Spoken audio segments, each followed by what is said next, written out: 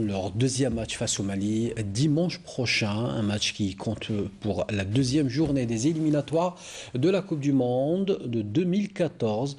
25 joueurs ont été retenus pour ce voyage qui s'est fait à bord d'un avion spécial d'Air Algérie auquel a pris part le premier responsable du football algérien, Mohamed Rawarawa, en tant que président de la délégation.